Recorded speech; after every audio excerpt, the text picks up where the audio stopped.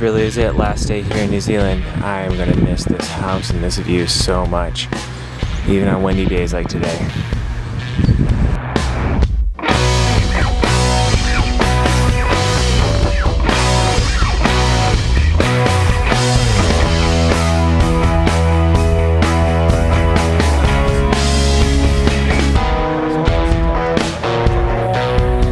Look at that. We've got a tire again. We're ready to go.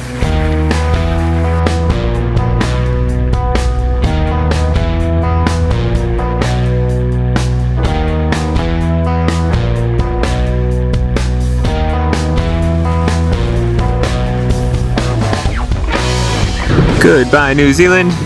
You've been great. It's been good. It's been real. Fly safe. What a crappy day. Holy moly. Well, we did it. That was a very successful trip.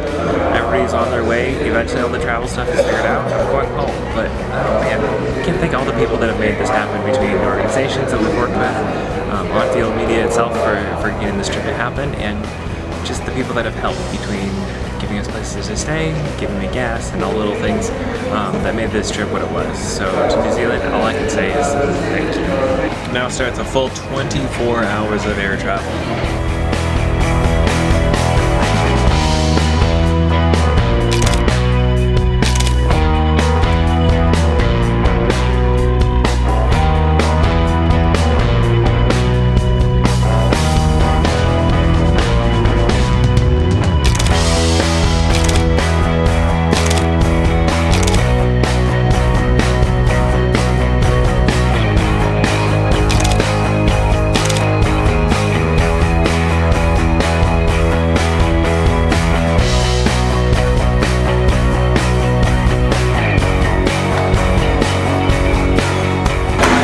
This is officially why I love travel. After my flight from uh, Auckland to Nadi, I got to know Thomas, the guy sitting next to me, and instead of spending my six-hour layover in transit by myself, he invited me to come have dinner with him.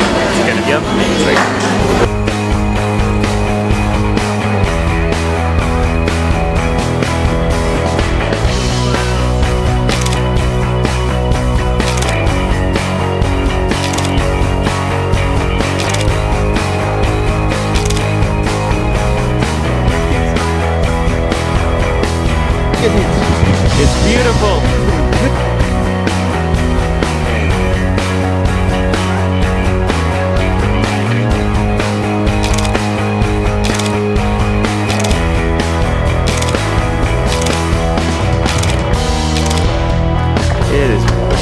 Beautiful. We told you, I said, can you get my? We can buy. Oh. Oh my gosh, life is incredible. Those were some amazing feelings. I can't believe like I just landed Fiji and I'm spending my whole night just hanging out with people, drinking beer and telling stories. I don't even know how to express that. That's just so cool. Getting back to work, editing weddings.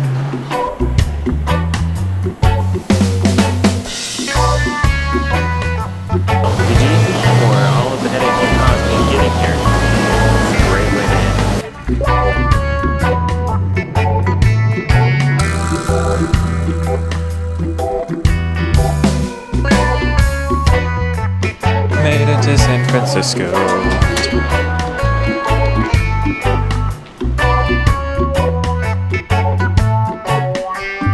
I still can't believe everything obviously the, problems, but just the joys and stuff that I get to look back on and my memories of like the awesome times of like Kaitaia or like hiking and then also like the great people in Raglan and then also Fiji. The blessing is far from lost on me. It's pretty cool. Last one.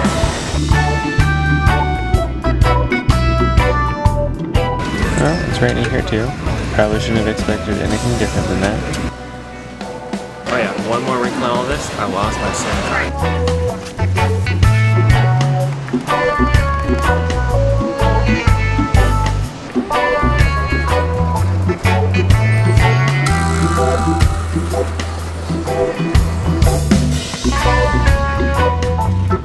Ah, that's a side I've been missing.